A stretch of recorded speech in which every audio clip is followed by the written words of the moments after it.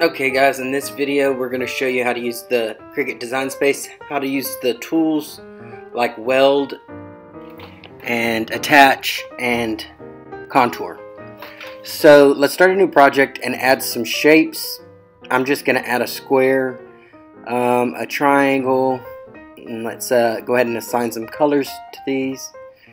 And uh, I'll tell you what, let's add a third piece. Um, something that's the same color as the triangle. Let's add a heart. This will make the example more clear.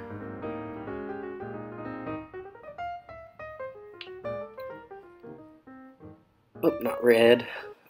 Let's make that pink, like the triangle. Okay. So, in Cricut Design Space, if you have three objects like this and you want to make it, it's going to align it to fit best on the mat so that you can fit the most on the mat to cut. If you want it to, say you wanted to keep the heart and the triangle uh, in that same spatial uh, ratio or the same positions, then you could connect them by welding the result.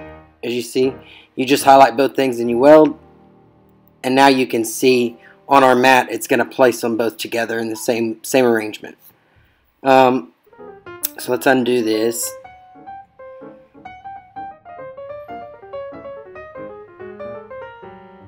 Okay, so let's highlight it all and let's weld the entire thing together so you can see if I have an underlying piece anything over it when I weld is going to become the same color as the bottom as whatever's on the layer underneath Okay, so if I undo that, and now let's bring the, the heart, or let's bring the square to the front. So now, if I welded it all together, it will all be pink instead of purple. And you can see that here. Again, that's just because anything that's on a bottom layer, when you weld, the, the layers above become the same color.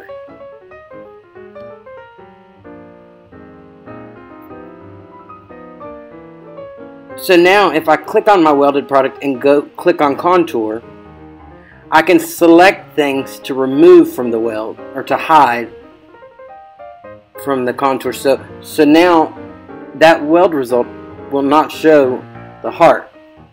And if I duplicate it, I can click contour again, hide the triangle and show the heart, and then we're back to the separate pieces, three separate pieces like before.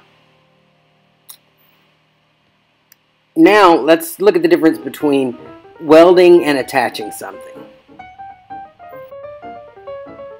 So if I attach it, then it becomes the same color as the bottom layer, but if I click on make, you'll notice that it's going to cut the square and the heart. Okay, so, and it's going to cut the heart out of the square just like it shows on the map. And that was with attach. Now if I was to weld the two rather than attach them, so let me put it on the corner to be more clear. If I highlight both pieces and I attach, again you'll see that when I click make it, it keeps them in the same arrangement, but that heart is going to cut out over the square. So you're going to have that little corner of the square gone, it's going to be part of the heart. Now if I were to weld these together, you'll notice this line go away. That's not going to be cut anymore. So again, it'll keep the same arrangement, but because it was a weld instead of an attach, this will be one solid piece.